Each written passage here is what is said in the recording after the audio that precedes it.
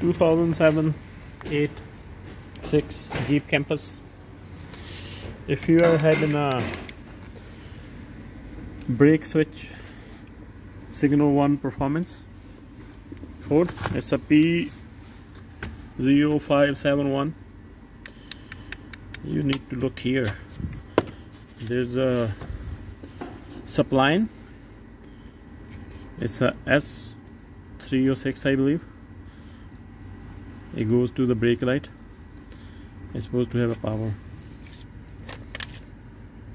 on a number 3 pink wire.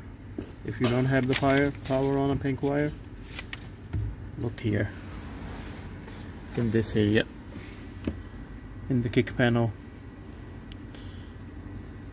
It says a supply supplies for uh, pink wire?